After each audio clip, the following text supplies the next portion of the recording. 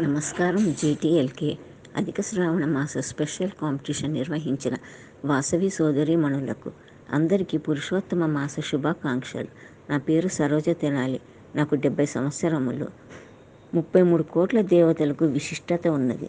పన్నెండు ఆదిత్యలు ఎనిమిది వాసులు పదకొండు రుద్రులు రెండు అశ్విని కుమారులు. ధన్యవాదములు.